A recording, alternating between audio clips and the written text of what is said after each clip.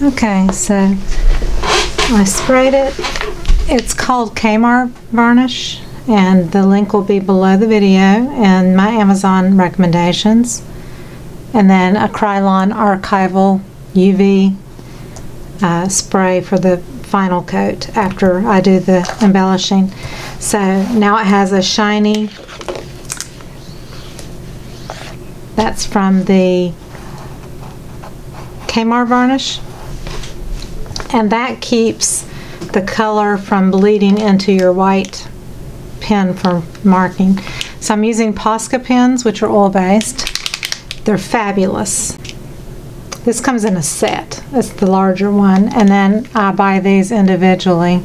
And I'm going to use the smaller one, not the larger one.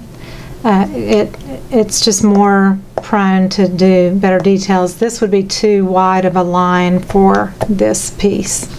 If it were a large piece, it might be different with larger details. Then I have a Sharpie, which I always sign my name in the bottom right hand corner.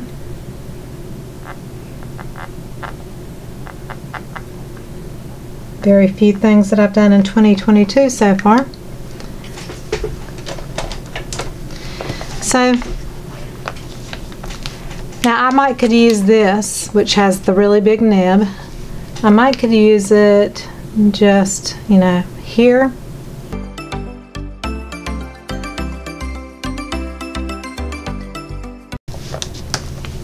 And I'm just going to follow the natural shapes.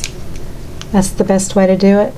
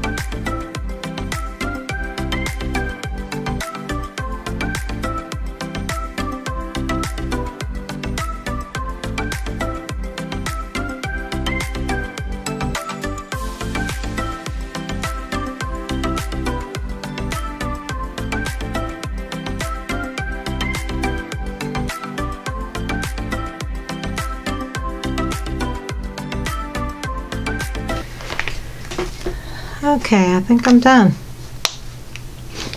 So basically just defining shapes to make it kind of look like cone flowers, but not really cone flowers, it's just make-believe. And um, the illusion of leaves and just pods or things, you know, it's, you give uninteresting areas some interest with little shapes and made up things. It's quite fun to do because there is no right or wrong. You just create and it's really, really fun.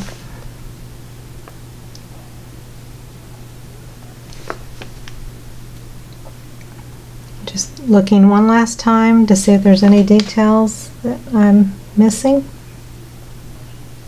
Cleaning up any areas that I think might need to be cleaned up. Because once this dries then I will seal it.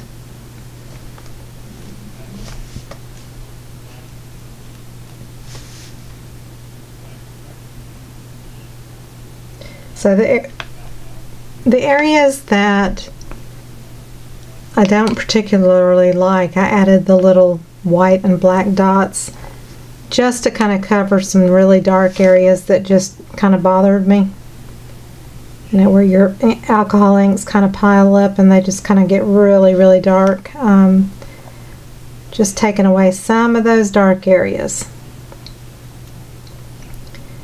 And again, just cr creating interest in things that are not super interesting.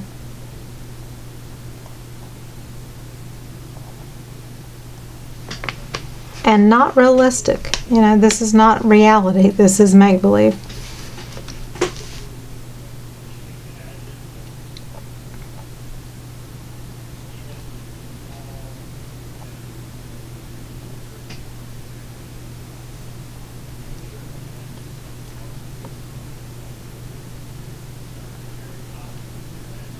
So it's just um, taking what you've gotten organically and making it into something that you feel is beautiful. This is actually a commission and I'm hoping she'll like it. She's in Australia. I've never shipped anything to Australia before, so this is a new one for me. But I'm happy with it. I was afraid that I wouldn't be able to achieve the same look as I did before on one of my previous ones and it does not look like the other one exactly but it's similar enough and um, me bring it in for some details here.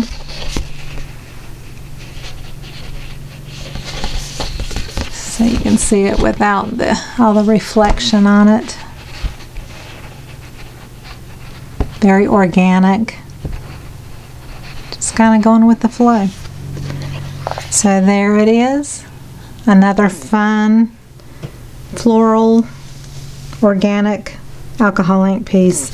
I am really so happy that I was exposed to alcohol inks um, by many people, but especially my friend Heather Mater uh, is the one who really kind of got me going trying alcohol inks. And, you know, I took one of her courses and I kind of fell in love with it. And you just learn to create your own unique style.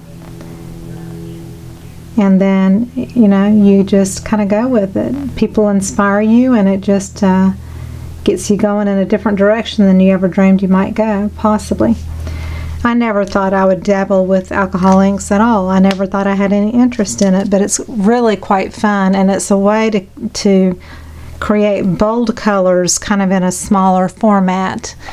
Uh, I love acrylic pouring, but it can become a huge mess, a lot of cleanup, a lot of mixing, and uh, the cool part about alcohol inks is it's usually a 9 by 12 or a 12 by 12 or circles and you know I've, I've got other shapes I haven't tried yet but you can kind of keep it in a condensed space and you don't have to have an airbrush. You can use your little pump air thing like I've used, which is on my Amazon link, and it just literally it puffs out air, or you can use a straw. And so you can use very simple tools to make beautiful pieces of artwork.